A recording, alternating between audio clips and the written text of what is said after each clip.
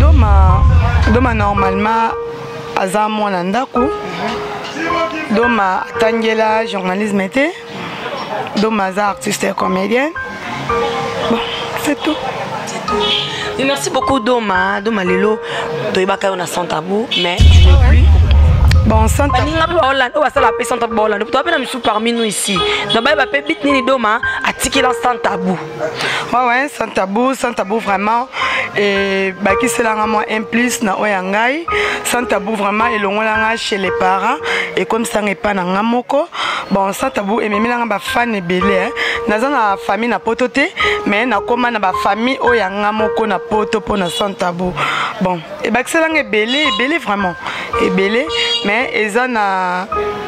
bit mpe oyo natiki kosala sala masisa ma question pourkui olingaki kotikande na persin otie na se ayo wanga natie likolo a nasalaki yango nawangana te nasalaki vraiment émission mais naomamona yango nde oyo ekomi ya mikolo vraiment nde ekomi ya salite makasi makasi merci beaucoup jete avec euh, doma nalingi na yemba bino doma par rapport euh, ya son tabou tozongona bafille ebele lelo baprogresse mpe mpo bato yango mpe libanda balingaka mpe bango mingi teyo mabe bata buzoba nde misusu baokende yango bao baolinga bongo surtout états-unis alongoli bilamba nyonso atikali na kaleso mwa saite na sotie mwa saite en plus mpe bopona mpe baflate ya bien ti oyo boyoki osala baémission na bino na solo bakosala te baflati mo bakimbangu bapaka apesi 10 000 oki osala émission na kuzu mm. bazwi drame oyo ya salite eza deya na bamai oyo bato deya basala ye bamakambo na bango etikalaki omati na drame yango mpe omati opesa mpe nsima yango ntango obalola yango mpe eza nao eh, moyo ekoma opesa nga vraimen kanda biloko ekoma opesa nga kanda naoka mposa ozongela bango mai naobanga nde famille na ngai na réputation na ngai mai so ebongo te na bando osalela bino baémission en plus na ndotanga bakombo na bango batika nano internet evanda kimia balongwa na bilona mama salite batika bafia eh, propre ecope yango eza salite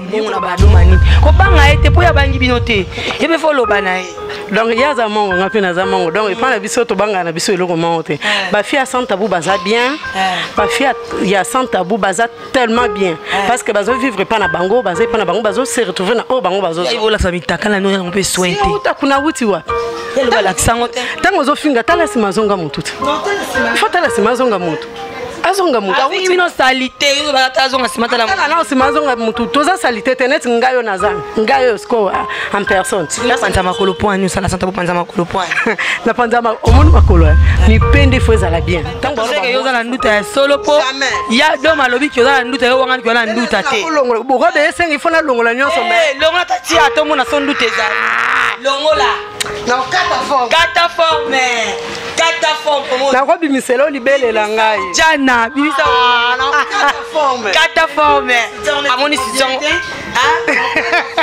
namoni susi yango neti eza bien te oh, susi na eza bien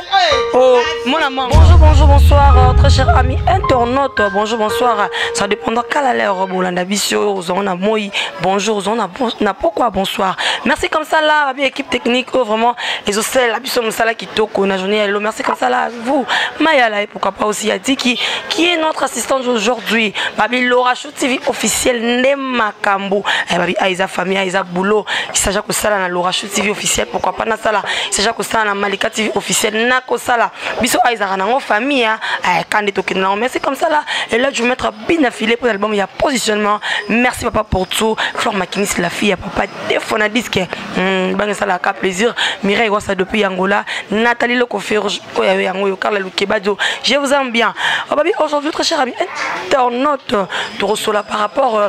ya mama ezoleka ya banews ma lelo eza mpenza news te ah, lelo je suis avec doma doma oyo andaki kosala sans tabou biso toyebi lelo sans tabou bafi bakomi kobénéficie na yango sans tabou epesi bafi mabala sans tabou epesi bafi baposition lelo bakoma kovoyage na yango mais toza na moko oyo vraiment alobi aza victime na sans tabou abaki toyamba ye tobaki tosala mosala mpo na bino elle s'appelle doma je suis avec elle aujourd'hui tokosola na ye pourquoi asengi atika sans tabou parce que toyebi sans tabou kani yanti koloba libandeli sans tabou epesi bafille ebele porte epesi bafille ebele makambo na ye se permettre atika yango tokosola neige mabe jo alidure bonjour euh, bonjour doma bonjour boni santé ouais santé très bien Et merci beaucoup doma oyo moto asoni e ono sa santa bango ndeni bon na ndosalaka tosalaka kaka onga nde nayebi sans tabou ezala lese onga nde nayebi sans tabou ezalaka vraiment donc ifozala na soni te mais yo namoni moto asoni bando oyaki omoni bafille omilingisi comme so olobaka te me nayebi ke olobaka non nalobaka eh. eh, koloba mpende wana cop na ngai naloba na ngai mais naloba se esengi naloba na nga biso na biso ata yo moko ata yo moko eh,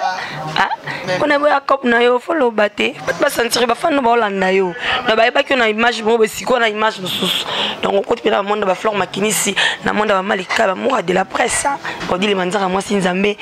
doma bamboto yo na bato baolanda ouais merci beaucoup bonjour na boss na ngai mon boss aimé de tineja mobala mandefa pembe papa akosala bana te soalaki na 12 heures juste une minute de okoti western oki orécupéré merci na master na ngai gypsy bongongo eh, mokuse de lix grande sœur propre denise la pembege la suzerlane merci na oko tozali babonjour na bafani nyonso ya doma bosila paul gadiza match jefa na rando yo lole nonga lofundu tozalaka bongo yo okozala no lolendo ngai na nanga lofundu tozalaka bongo emso tokokuta place moko boyosali ninga lolendo ngai siko nanga lofundu se tozalaka bongo moto akipe moninga aza te oh, d'esprit nda bimisa ba wana yo lolendo nga lofundu fo amta ba guerre d'esprit ya naza na amta guerre d'esprit te naza amta guerre d'esprit te elo na boya nde yango wana me balukela nga nde bamakambo biso youtube tolingaka bongo te ti obimisanga biloko tunaa otunoka moto notangi na tv eh, yaya biso okenda nango bongo ntango oloba yanga eyo sengo loba kombo ekoma o eh, makambo mpe yango tokoboya yango te youtube eglise te eh, so esengi makambo ya fo ozwa makambo to apesi oyo aza te awa fo yo moko ozwa makambo eza eglise te bien sûr mais na kipande bato te na kipande neti babino boye mm. kipo makasi ah. so tokuta ye mpena na repetisa bino afile ah. no yambo makasi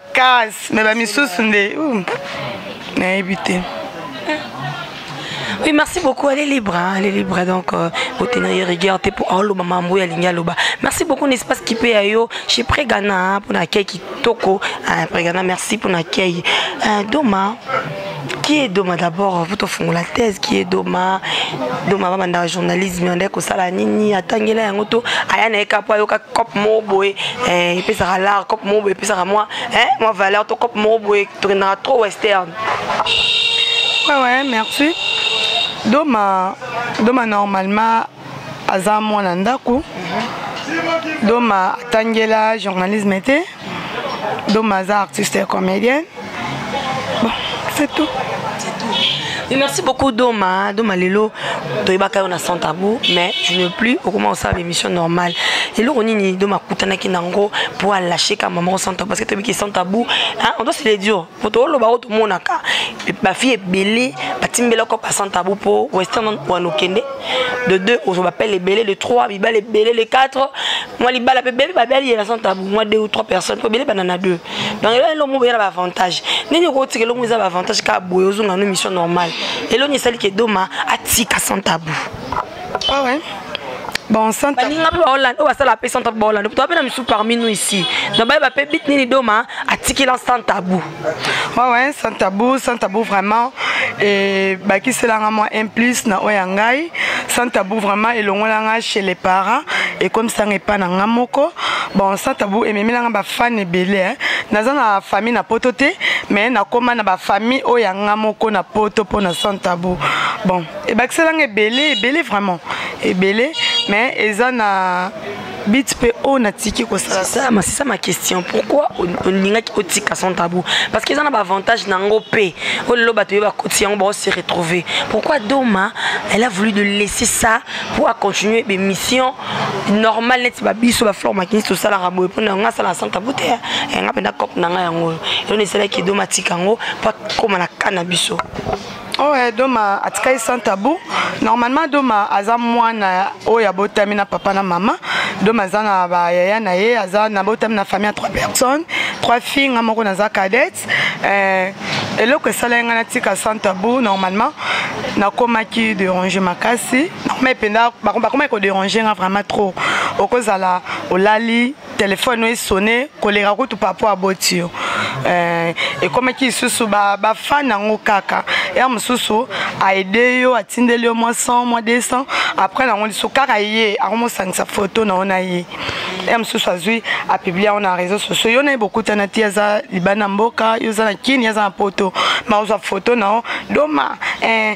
ya mosusu makambo mosusu akoye biso na privé akomobimisa yango ya mosusu na réseau sociaux ke doma mwasi na ngai nde eza boye naza na mposa nazwa yo soki na matino mpena na mbeto makambo osalaka wana ekomi sikoyo bafamille na ngai bakomomona yango mpo naza ami na papa na ngai naza baami na bayaya na ngai esali ke bamona yango e derangea ye ngai en plus na mosala koto nasalaka bonjour président na ngai ladi esobe koto ozali eh, nasalaka théâtre epa président esobe eyaki osa oui eye osala eso président na ngai ayaki komona ba émission wana esalaki vraiment mabe esalaki mabe biso toza baelika mas toelike mas comment c'est possible tokosala eso bamisala moko oyo eza ke ozoloba betise ozosala ozosala ye mosusu bamouvement mo boye eza vraiment propre te nazwaki suspension esalaki kenda na obondela papa nabondela ye papa ayaki kozongisa ngai na mosala ayebisaki ngai abi soki olingi osala théâtre tikala na théâtre mais soki osala baémission na oyo ya santabu continue na yango mais otiki théâtre à part ça soki osala bémission normale nde baninga basala problème eza te nde nayaki kokota na bémission normale oyo baninga nyonso bazosala mais nazo se retrouve na nga mpe kaka nazo se retrouve na nga kaka emso nga ntango natikali na osan tabou naoma yobanga na omomona e eh, nde naotika yango boye seke vraiment nga nakokota esu western te seke nakoki esu kozwa mbongo te e bon bafani na ngai merci na bino mpona malgré natika sans tabou lelo nakomi na baémission na osala mai batiki ngai mpe ka te baocontinue na ngai kaka bamerci vraiment bon lelo na ovivre na ngai namoni mpe ke non nakokisi meme pas 30 ans nakokoma mpe mama bana nakokoma mpe na ndako ya libala bana na ngai lelo soki bayomona makambo mama bango abanda osala ere mosusu eza eza vraiment mpasi mpo na éducation ya bana na ngai yango namonaki mpe ke natika natika bino mpe bosala émission normale boye msu mpe bato baosala santa bo baleki bino na eloo te eh, se msu mpe bino mpe bokoleka bango mpo na santa bo wana mobali so alingi mwasi na santa bo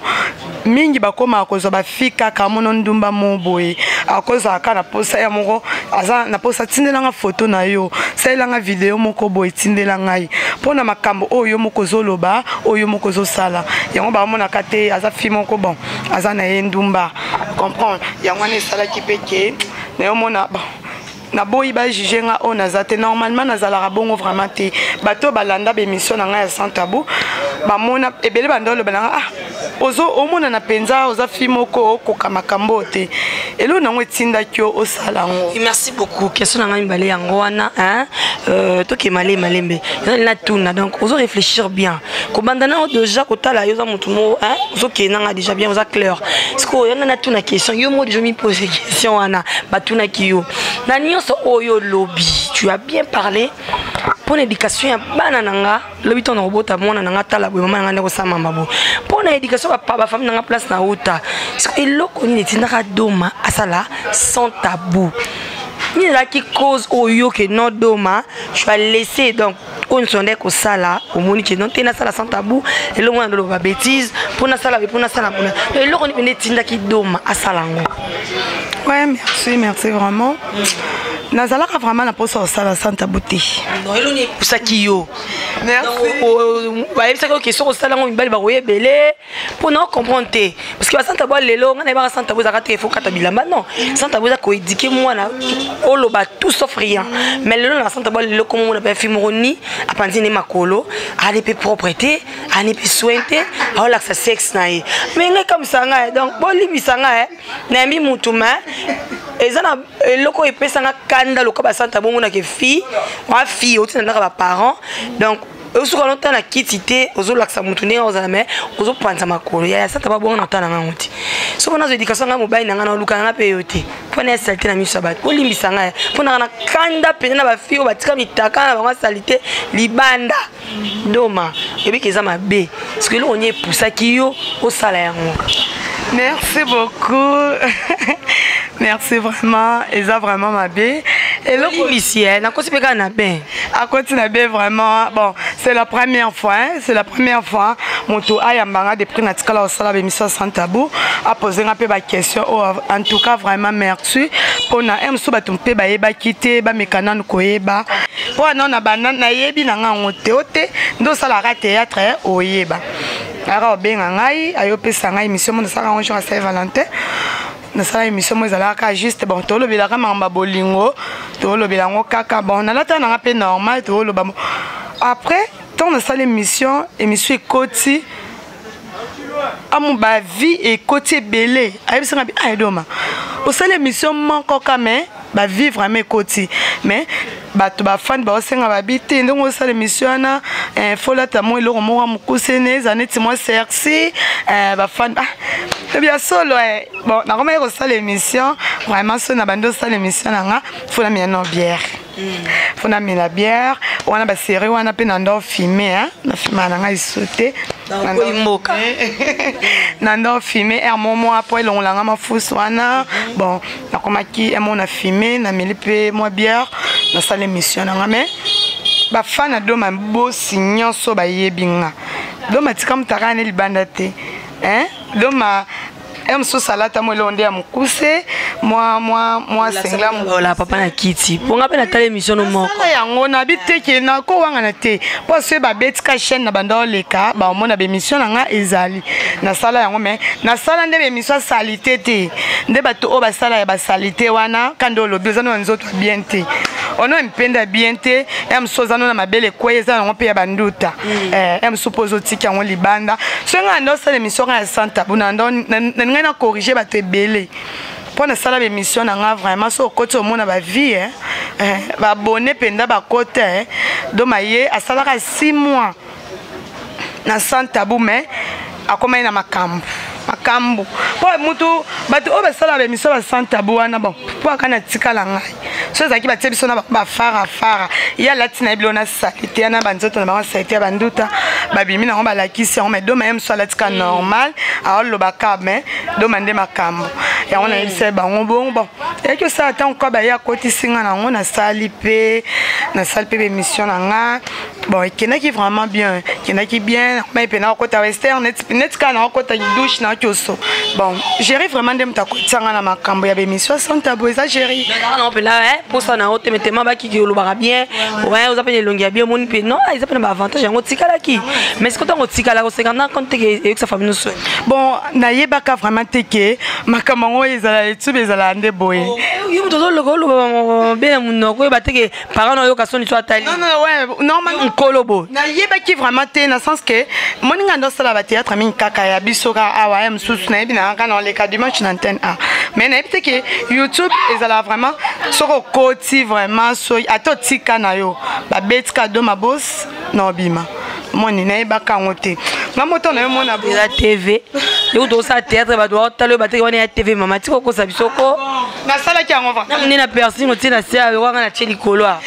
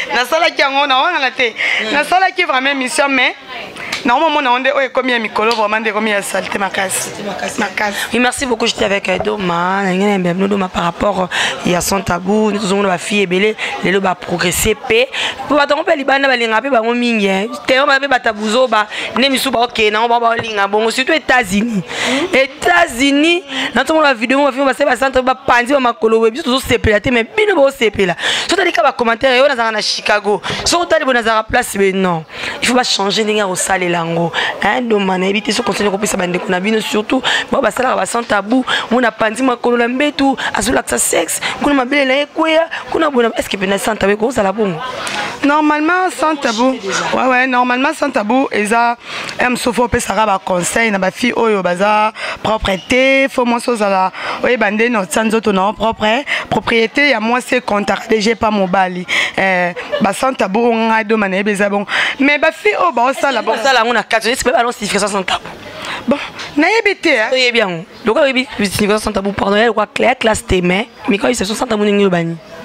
bon nga nga nayebi santa bo eza ke eh, fo oloba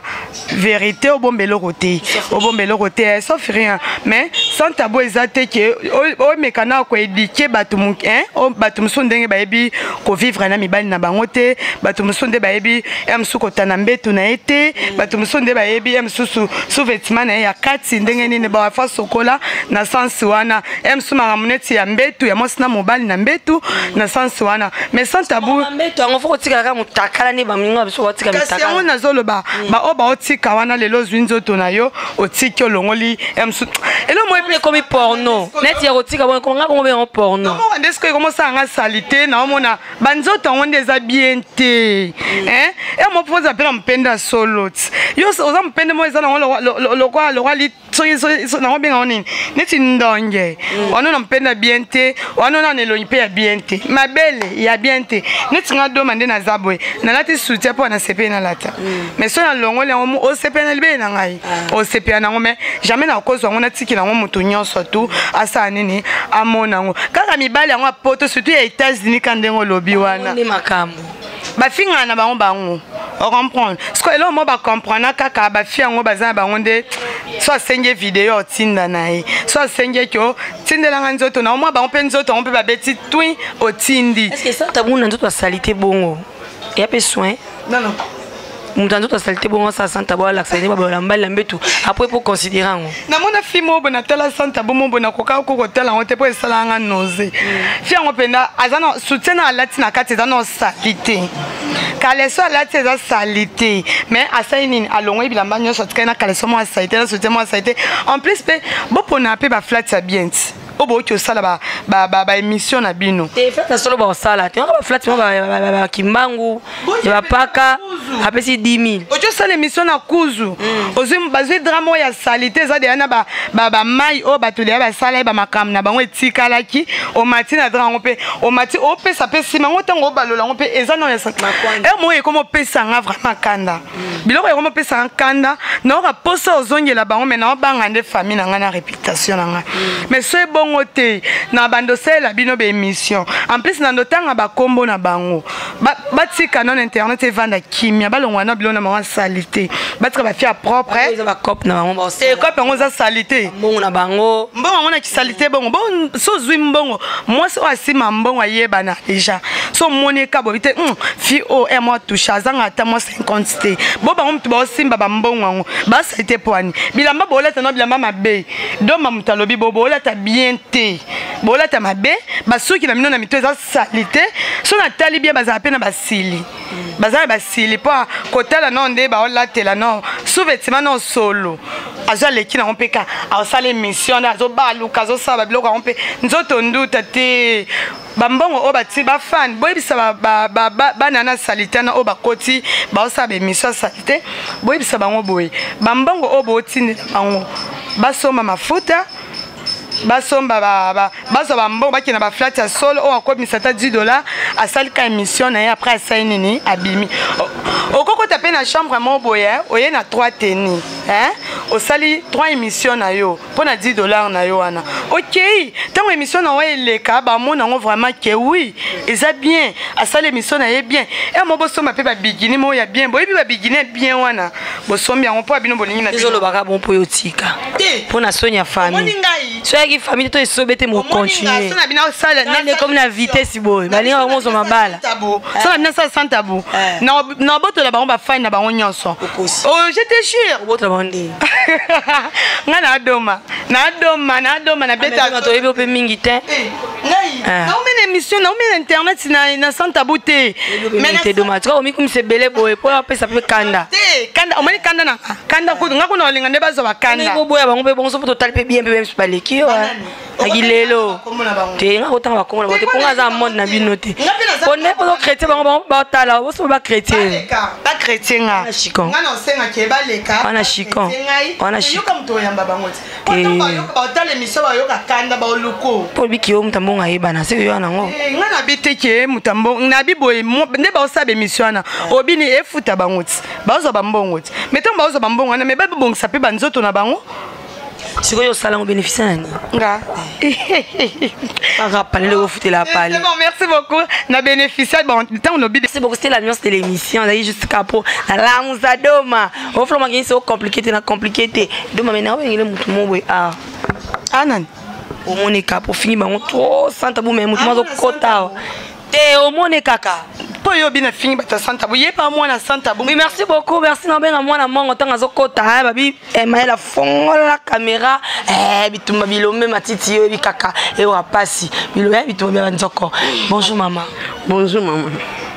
boni sante hmm, pepele na ngolo ya nzambe ngolo ya nzambe yo nde nzambe ya sans tabou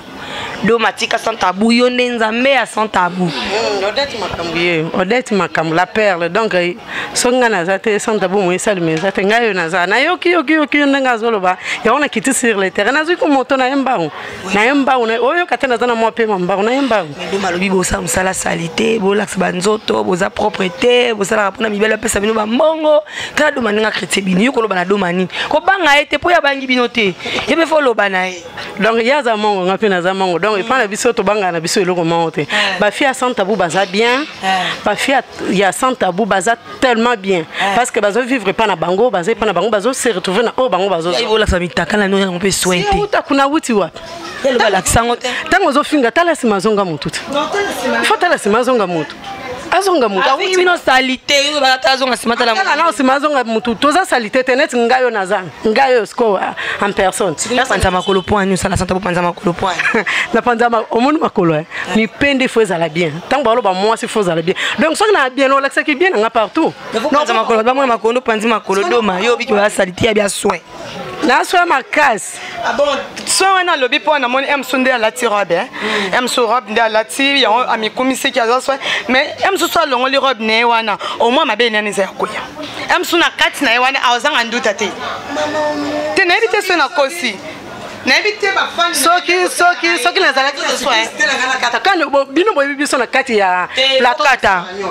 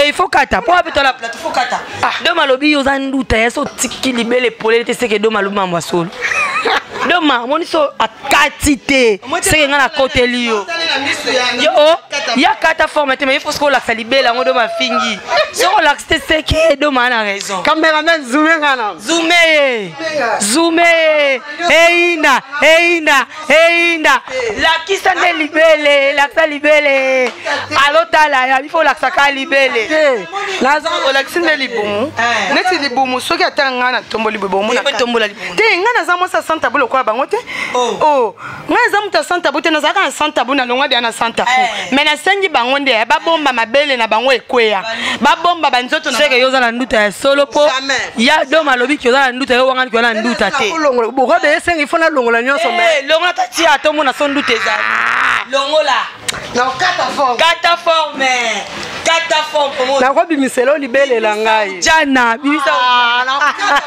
kata forme amoni sition